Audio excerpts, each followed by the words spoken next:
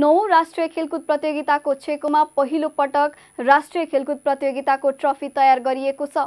उक्त ट्रफी पोखराबाट सार्वजनिक भएको छ। विभिन्न प्रदेश घुमाएर ट्रफी आइतबार साँझ पोखरा ल्याइएको हो। गण्डकी प्रदेशमा आयोजना हुने प्रतियोगिताको ट्रफी गण्डकीका मुख्यमन्त्री कृष्णचन्द्र नेपाली पोखरेलले सार्वजनिक गर्नुभएको छ। अब उक्त ट्रफी पोखराका विभिन्न सार्वजनिक ठाउँहरूमा राखेर प्रदर्शन गरिनेछ।